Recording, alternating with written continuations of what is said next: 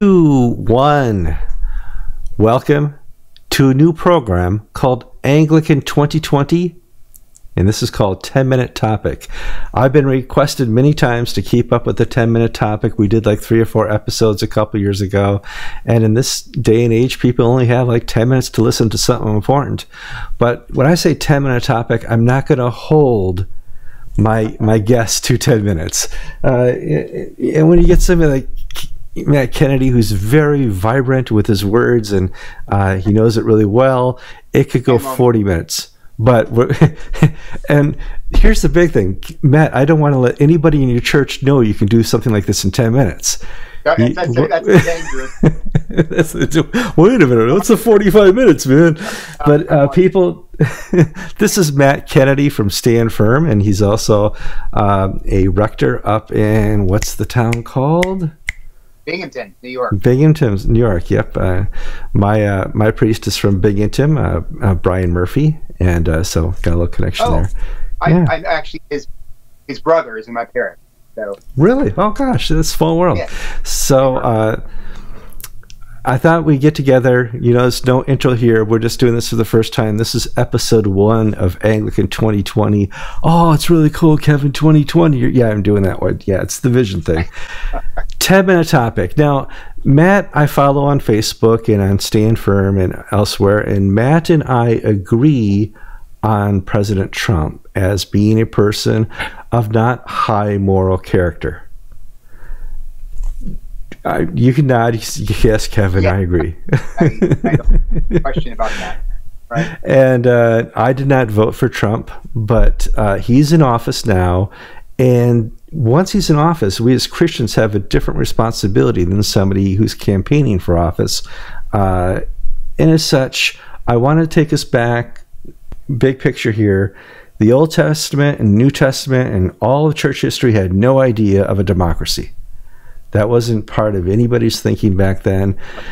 And I want to talk a little bit about Romans 13, which calls us to uh, be uh, subjected to authorities. People like Trump or the US government or the King of England or the Queen of England, the authorities above us to some extent.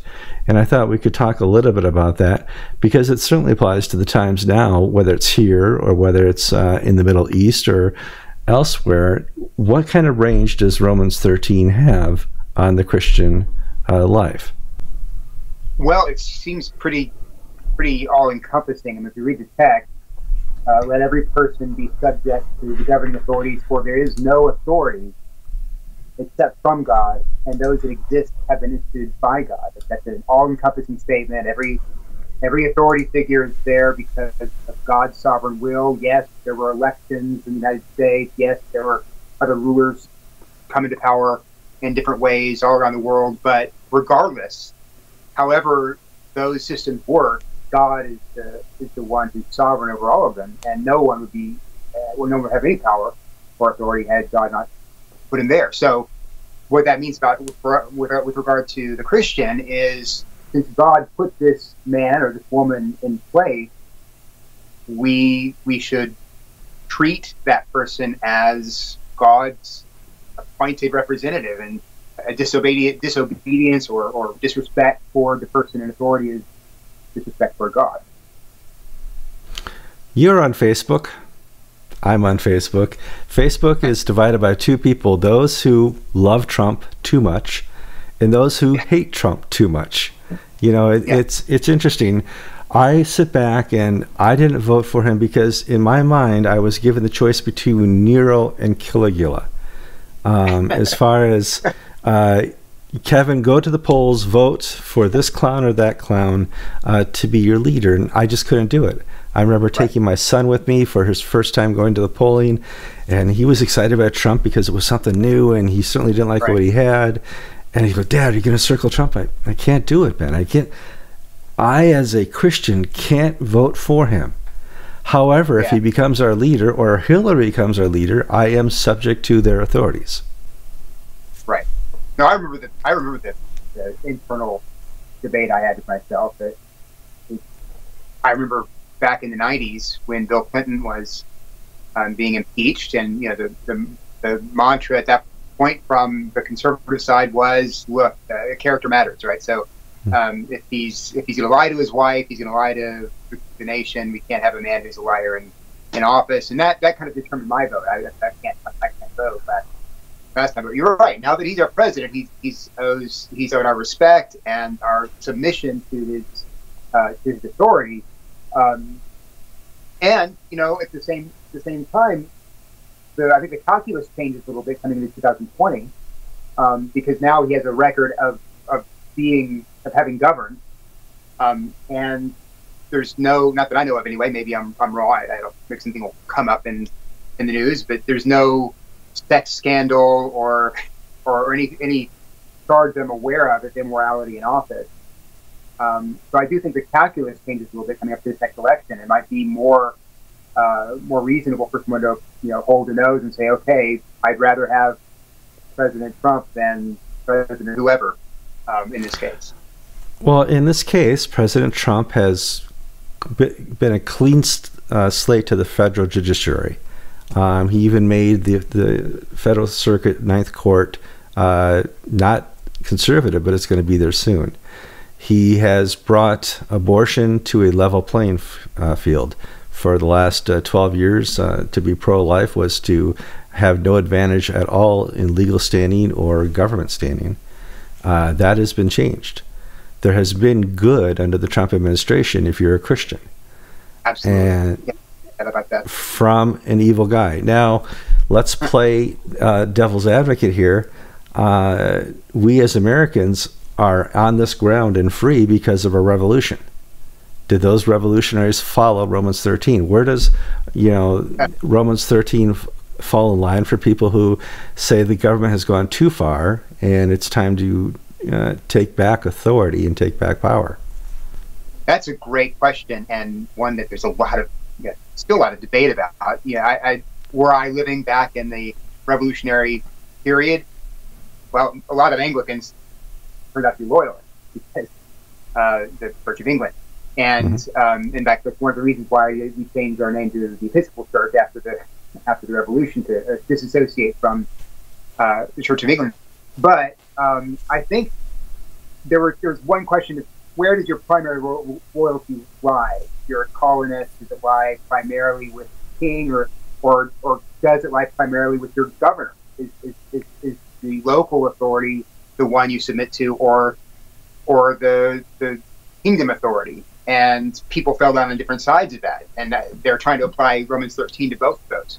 Which, which way do we go? Now, uh, clearly, um, the choice is already made for us, so we're in the United States, and I wouldn't suggest breaking off and going back to going going back to England, but um, we're sorry. But, right, right. So we have to we have to kind of deal with the cards we've been dealt, or, or cards we've dealt, um, and and going forward, um, given the fact that we have now a Republican government um, led by uh, a, an executive branch, and Mr. Trump is the is the president, uh, we owe him the same kind of uh, submission and respect that the scriptures call for.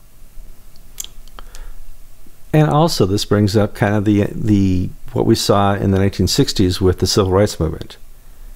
They were under the authority, but they said, "Listen, it's not working right." And Martin Luther King Jr. said, "Let's try doing this peacefully. We're not going to overthrow. We're not going to have a revolution like it was successful before, but we're going to attempt to change minds through a peaceful revolution." And I think they did the model of uh, Romans 13 by still being under authority, but saying we can change the people's minds in a democracy. Yeah, I mean, the, the, the, there's several examples in Scripture for for peaceful, respectful disobedience. So it, it's interesting in Romans chapter 13. Paul says, "Be subject to those in authority," but he, he avoids the word obedience, which which seems to imply more of a, a stance of respect and a stance of, of, of obedience, but with the recognition that that the civil government doesn't have all-encompassing authority that, as God does. Their authority rests on God's appointment, but they don't have the same kind of um, universal appointment uh, authority that God does. So you have two examples in the scriptures you, you can go to. Daniel uh, told mm-hmm. not to pray to any other god, what, what does he do? The first thing he does, he goes and he opens the window and prays so everyone can see him pray. Civil disobedience because because Darius's commands ran contrary to God, and so he had to follow God as the man. And the same thing you see in, in Acts chapter five when uh, the Sanhedrin tell Peter and John, "We command you not to preach anymore in the name of Christ," and they said, yeah, "I'm sorry, we we we will obey God and not and not man." So when when the government or any ruling authority commands you to, to, to do what God forbids or forbids you to do what God commands, the Christian has no choice but to to disobey. But and the trick is to do so in a way that's respectful, like the civil rights movement, uh, respectful and uh, communicates not revolution but obedience to a higher authority.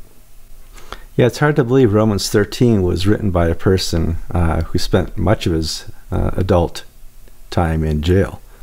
Yeah, yeah. yeah. By, Nero was emperor when Romans 13 was was was written. Uh, not not the best model of good government. So. No, not at all. And so, if somebody from your parish, you know, who really hated Trump or really loved Trump, ask you for your advice, what to do now, uh, certainly the prayer book gives us a little flavor that we pray for them. But uh, what is the response we give to our congregations in uh, respect to uh, a person like Donald Trump, who is flawed in many ways, uh, in many fathoms, and it's it is just like watching some episode of some strange TV show uh, where someone's going to get fired. So, right? No, I mean, I think I think we can't. Of course, we can't tell our Christians how how to vote. We can say right. certain things before. Sure. I mean, I would, you know, I I personally would, would suggest not voting for any candidate who is promoting abortion or supporting abortion in any way, whether they're Republican or Democrat. Um, and I would say the same thing about um, about gay marriage. But you know, we have both. what happens if both of them do? Which I think we're going to have that case coming up in the next election. Mm-hmm. Um, but so I would say at least some issues that set a candidate off the table. Um, in this case, I think I'd probably say, look, uh, you your vote is an act of governance. You stand before God, in a, especially in a Republican form of government, and you're responsible for Him for how you, how you vote. You want to use your vote in a way that's that's inconsistent is is consistent with His with His principles. And some of my parishioners, no doubt, are going to weigh the weigh those uh, those things and say, well, look, I don't necessarily love Trump, but I know that he's he's done more for the pro-life cause than any Democratic candidate would or, or will. So I'm I'm gonna I'm gonna vote for Trump, and that's fine. I know there are also people in my in my parish who are, just won't vote for anybody until we get better candidates, and I don't. I, I'm not of the opinion that one has to vote. I think it's that's that's a that's maybe a civic um, it's, a, it's a civic uh, popular idea, but there's no biblical mandate to do that. And I wouldn't want to tell a Christian that he had to or she had to if they didn't feel it couldn't do conscience. Yeah, I mean, as long as the other side is putting up candidates that nobody would vote for as well, you know, this becomes just one of those yeah. strangest times in history. Matt, right. you can believe it, but we've come in at 10 minutes here. Wow. Amazing. So I want to thank you to. I, am glad you were the first person on, on our 10 minute topic as, as we, we shoot this.